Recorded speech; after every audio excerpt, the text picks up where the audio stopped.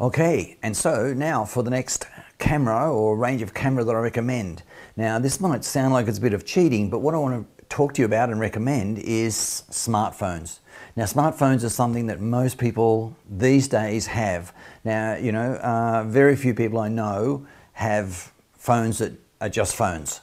It's really about having the phone that, you know, you can connect with the internet and so on and so on. Uh, as to what phone you prefer, again, totally up to you. I'm not going to get into a you know a, a Mac or an Apple versus um, you know all the other brands as well. Uh, let me tell you straight up, there's my preference is an iPhone. I have iPhone. I'm still with the iPhone 4S, but the 5 again has added features and a few extra little things. But again, depending on what you want to do. Otherwise, you know, you can have something like a, a Samsung Note. Uh, yep, yeah, beautiful, big screen, fantastic.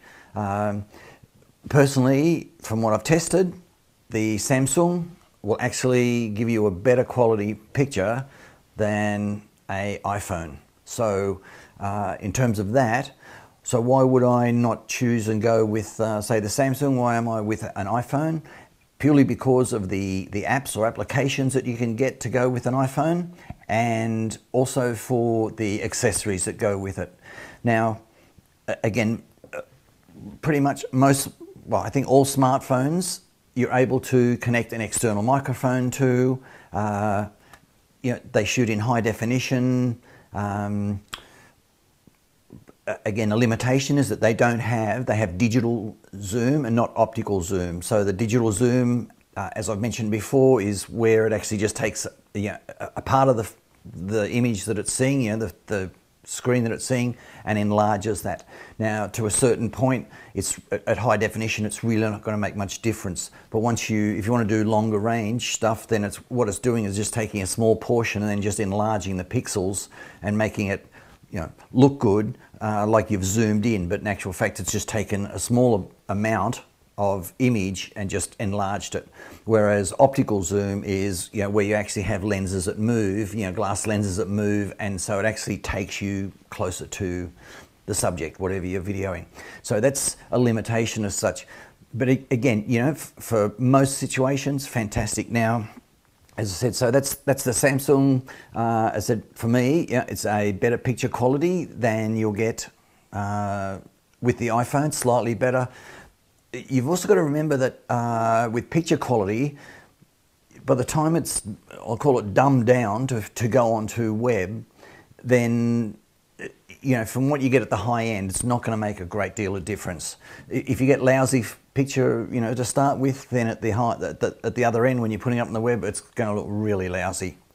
Okay, now, as I said, the thing I love about the, the iPhone is the amount of uh, apps or applications that are available for it, and, and there's heaps of them that will turn this effectively into a full-scale movie camera. So it's as good as a movie camera with the apps that let you control uh, image and stabilization.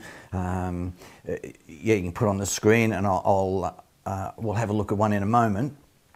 But that's what I, I love about this is, is, is all the apps now. Uh, I'm just going to jump into it here you can see here there's um, VisiWig Filmic Pro. Uh, what else have I got here? Uh, there's a light meter. So again, there's, there's a whole range of, of, of, little apps here. Now, if I open Filmic Pro, so Filmic Pro is opening up now. And what it gives you here is it gives you audio. Now I'll so what it does is it gives you an audio meter on the bottom. It actually lets you pick, you know, if you're going to shoot the face. So it's actually, it lets you pick where you want to focus on. Uh, you can change the light meter.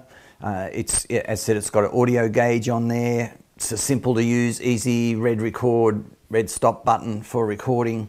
Uh, again, really fantastic it, there's, there's too much to go into, and it's and, and this program's not about uh, how to use you know this specific app and whatever.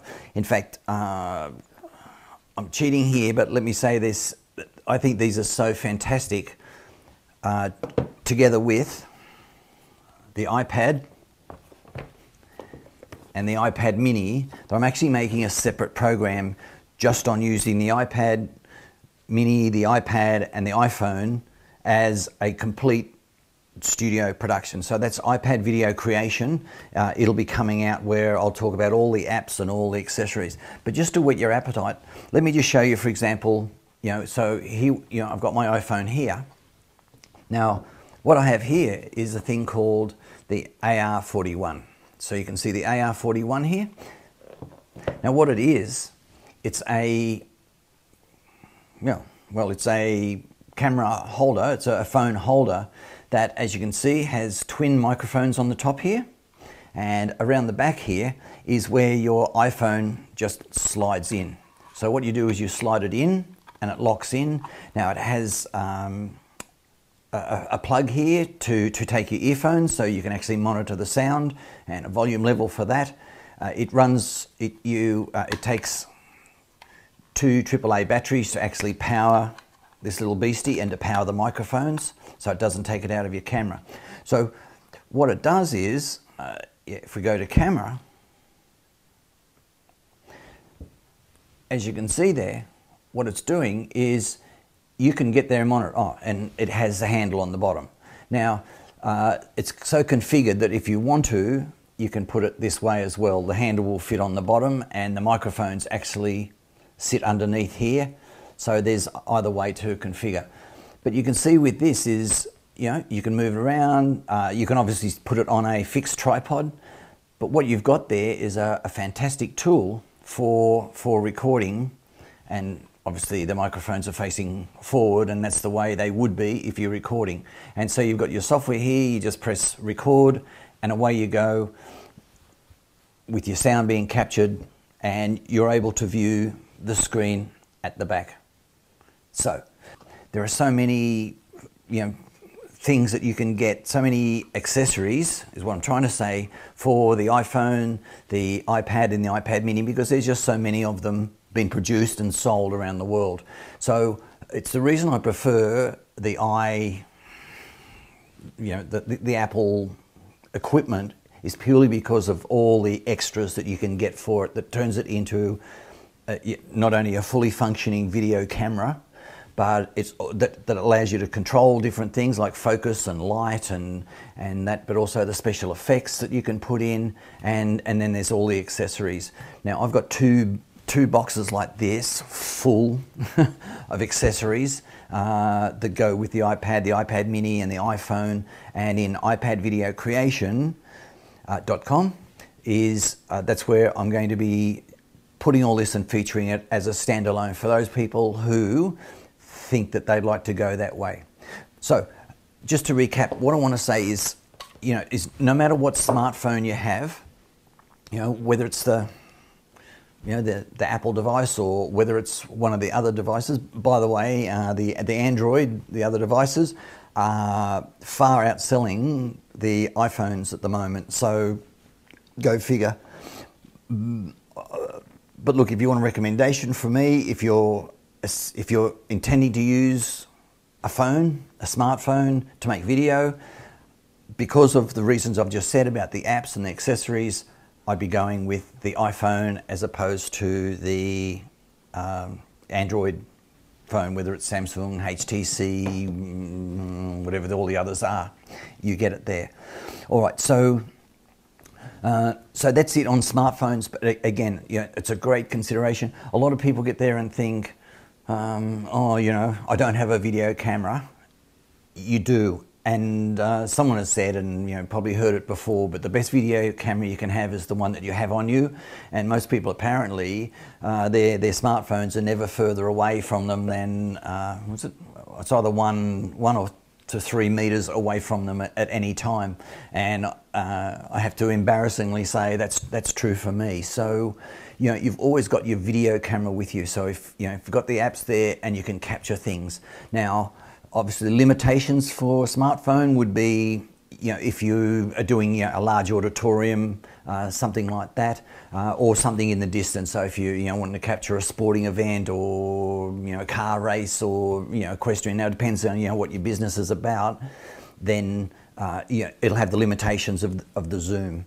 So uh, you know, just be aware of that. But it's probably fairly, you know, uh, logical, you know, that that sort of restriction would be there. But for most of us, if we're setting up in a studio or whatever, absolutely fantastic. Okay, so that's it uh, for this one. Smartphone, uh, yeah, certainly consider it. Uh, pluses are always got it with you. Shoot in high definition. You can use an external microphone and plug them in.